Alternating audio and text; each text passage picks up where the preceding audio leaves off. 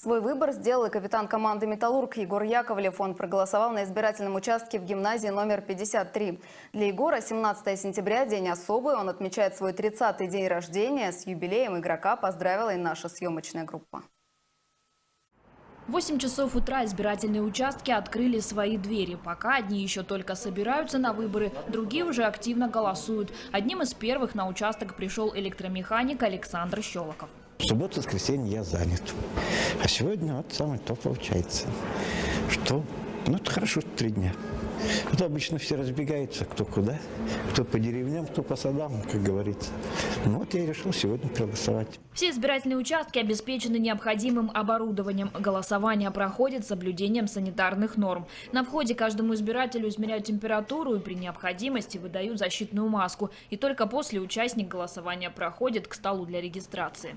После регистрации избиратель получает вот таких два бюллетеня. На одном предлагают проголосовать за партию, на другом – за кандидата в депутаты. Бланки избиратели заполняют в специальной кабинке за закрытой ширмой. Недействительными будут считаться пустые бюллетени и те, на которых будут заполнены два и более квадратов. Избирательный участок 1344 небольшой. В списке избирателей всего 801 человек. В их числе и хоккеист Егор Яковлев. Считаю, такая гражданская ответственность э, моя.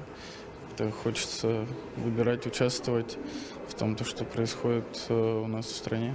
Сразу после выборов Егора Яковлева и его команду ждет долгий перелет, а пока капитан команды раздает автографы и принимает поздравления в свой юбилей, Егор желает. Долголетий хоккейных, наверное, и самое главное, чтобы травмы не тревожили, и я как можно дольше мог играть и радовать болельщиков.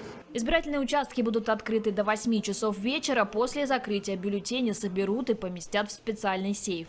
Все бюллетени которые находятся в переносных ящиках для голосования, то есть все бюллетени, где избиратели голосовали на дому.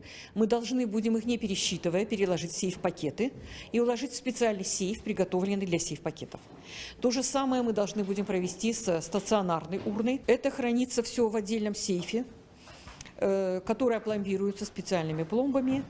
И это будет скрыто только после окончания голосования, то есть после 20 часов 19 сентября. Выборы пройдут в течение трех дней и завершатся 19 сентября. Те, у кого есть уважительная причина, могут проголосовать на дому. Для этого необходимо позвонить в участковую избирательную комиссию и подать заявку.